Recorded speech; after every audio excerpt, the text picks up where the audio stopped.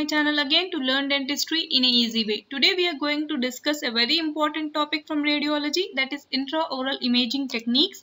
They are paralleling technique and bisecting angle technique. Before getting started, make sure you subscribe to my channel and hit the bell icon to receive notifications as soon as I upload my new video. Please if you like my videos, hit a like and drop a motivative comment. It will really make my day. Paralleling technique is also called as right angle technique and long cone technique. As the name indicates here, mm, I will tell you the reason behind naming uh, this technique as a paralleling right angle technique and long cone technique in detail now. First of all, I'll be explaining you the parts of this uh, image here. See, this is the tooth of interest. This dotted line is nothing but the long axis of the tooth. Okay. This receptor X-ray film receptor. This is nothing but the film holder. This is the biting plane of the film holder onto which the patient bites.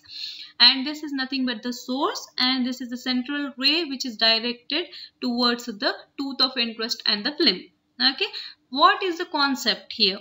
Here the X-ray film should be placed in such a way that it should be parallel to the long axis of the tooth. Hence, it is called as a paralleling technique and the central ray should be at the right angle to the long axis of the tooth and the film. Hence, it is called as a right angle technique. X-ray should be directed in a perpendicular direction. Okay. Uh, hence, it is called as a right angle technique. Hope you got my two points. These are very important. And whenever you place this film in a parallel direction, there is an increase in object to receptor distance which may leads to higher image magnification and poor geometric sharpness. To compensate this, paralleling technique is used with a relatively long source to object distance. This is a source, this is object. To compensate this, we are using a long source to object distance by using a long cone. Hence, it is called as a long cone technique. Hope you got all my points. It is very easy and important. Okay. Now, uh, I'll show you in the next picture uh, that is a film holder instrument that is very important in paralleling receptor holding instrument okay you can see here the this is nothing but the bite plane. This is the film holding device. Okay this is nothing but the circular collimator. Now Now bisecting angle technique. Bisecting angle technique may be useful when operator is unable to apply paralleling technique because of large rigid sensors or due to the anatomy of patient. The receptor here you can see here in the picture.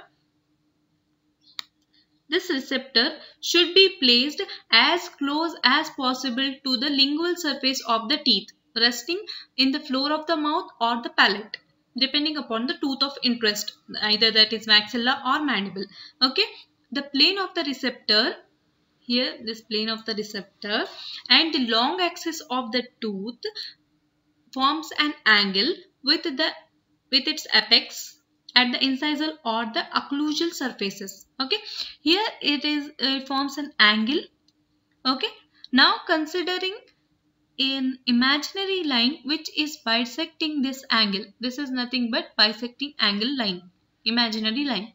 Okay, now the film is placed. Uh, we are we are also imagining a line which is bisecting the angle. Now the central beam should be directed perpendicular to this imaginary line. This is the concept behind bisecting angle technique. Actually, this concept uh, depends upon a principle uh, I'll explain you principle now uh, because you can understand it easily now.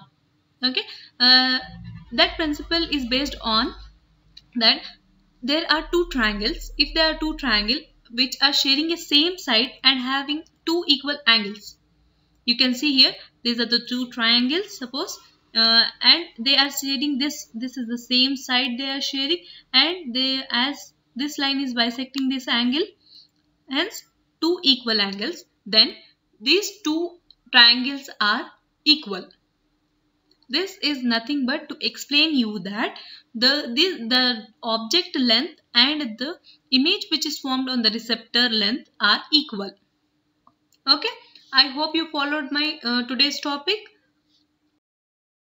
And end of today's topic. Uh, stay home, be safe, keep learning with Dent Learning.